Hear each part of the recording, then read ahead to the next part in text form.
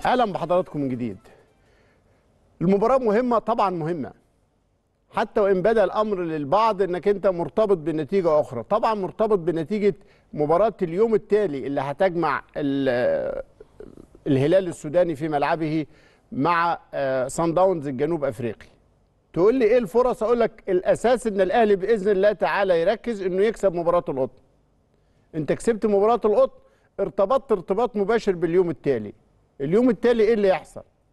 لو بإذن الله تعالى صن داونز عمل نتيجة جيدة هي لصالح الأهلي. تقول لي هي إيه الجيدة؟ أقول لك صن داونز لو كسب الهلال يكفيك الفوز في مباراة القاهرة على الهلال 1-0 عشان تتأهل التاني بعد صن داونز طب صن داونز تعادل. إنك تكسب بقى آخر مو... ما هو مش بقول لك يكفيك الفوز آه. على الهلال أيوة، حتى أيوة، لو أيوة. بهدف. لو آه. صن داونز فاز على الهلال. طب صن داونز تعادل مع الهلال. تحتاج تفوز على الهلال انت 2-0 عشان تتأهل.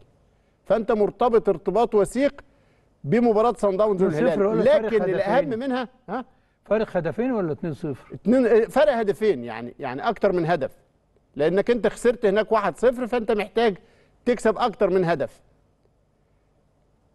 غير كده الأمور مش في صالحك لكن الأساس والتركيز وزي ما مستر كولر قال تركيز إن أنا أكسب القطن. الناس هتتكلم القطن خسران من كل الناس كل المباريات خسرها بره وجوه. ما تشوف خسرها من القطن من آه. من الهلال إزاي؟ لكن جاي عند الأهلي وهو ده ثمن وقيمه الأهلي نفس اللي بيحصل يعني في كان مصر. متقدم على الهلال آه. خسر بفاول اتشاط برضه زي الجون اللي جه فينا بس خبط في العارضة ودخل. يعني كور من اللي بيتقال فيها توفيق ثم هدف آخر آه، يحقق به الفوز. الهلال يعني هناك. اذا فريق مش سهل. ممكن يعني أحرز في الهلال وكاد أن يخرج متعادلا على الأقل يعني. هو هو مدربه بيشكو إنه اللعيبة صغيره في السن فخبراتها قليلة. لكن زي ما بقول لكم خسروا بقى. خسروا الأربع مباريات وجايين مع الأهلي دلوقتي يرصدوا حوافز كبيرة ويتشجعوا ويتحمسوا. هي دي قيمة الأهلي وديت الفاتورة اللي الأهلي بيدفعها حتى هنا تلاقي الفريق إن الفوز على. الأهلي يقترب إنه هو بطولة. آه. بطولة في حد ذاتها. كان مانويل جوزيه ليه مقولة يقول لك خلاص نجيب كاس نخصصها للي يفوز على الأهلي. اللي يفوز على الأهلي ياخدها ويريح دماغنا. هو يعني هي دي ضريبة. ضريبة إن أنت تلعب مع الكبير قوي. ده الكبير قوي بمناسبة رمضان كل سنة وأنتم طيبين. لكن زي ما بقول لكم أنت عندك تركيز فاروق صلاح كان طمنا على إنه حالة اللعيبة الحمد لله كويسة تجاوزوا آثار المباراة بتاعة سان داونز مستر كولر يمكن فاروق قال إن هو أخيرا شفناه ابتسم وبدأ الراجل حتى في المؤتمر الصحفي وإن كان لسه متضايق ولسه مسحات ال- ال- ال- الزعل والغضب من النتيجة لسه على وشه لكن هو راجل محترف وشايف إن الفرصة قائمة بشرط إنه يكسب. اكسب وبعد كده ربنا يسهلها.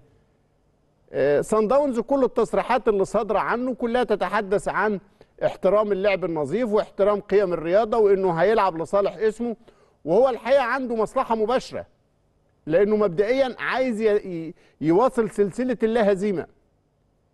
فمش حي يعني بيعلن إنه من مصلحته إنه يكسب علشان يتصدر المجموعة. لو تعرض للهزيمة هو معرض إنه يخسر صدارة المجموعة. لأنه ما يعرفش الهلال يجي القاهرة يكسب. لا يبقى هو فقد الصدارة. عملها فيا ممكن تتعمل فيه. آه فيفقد هو الصدارة. تقول لي إيه يعني- الفرق يعني- إيه الفرق بين إن هو يتصدر أو يطلع تاني من الاثنين متأهلين؟ أقول لك لا تفرق. لو طلع أول رقم واحد هيلعب مباراة العودة في الدور اللي جاي في ملعبه. دي ميزة نوعية. رقم اتنين هيلعب مع أحد تواني المجموعات الثلاثه والمجموعات الثلاثه الأخرى الأول فيها عربي بكل تأكيد يعني الترجي وبلوزداد لو اتأهلوا والزمالك ما تأهلش ولو تأهل الزمالك أو حتى تأهل المريخ الأربعة كلهم عرب الرجاء في مجموعته والوداد في مجموعته. اذا الصدارة في الثلاث مجموعات الأخرى عربية. هو بالتأكيد يحاول يبعد عن يعني الصدمات لمست العربية. نقطة يعني تخليك مطمن سنة. مم. وإن كان يبقى نتيجة التعادل آه، يعني تخليه برضه هو الأول. أيوه. إنك لازم يكسب عشان يتصدر. آه. لأنه إذا جاء الهلال بعد أن يفقد الأهلي فرصته ربما تكون فرص الهلال كمان أكتر. فيضايقوا في الصدارة. يعني عايز أقول إيه نتمناها كرة قدم نظيفة.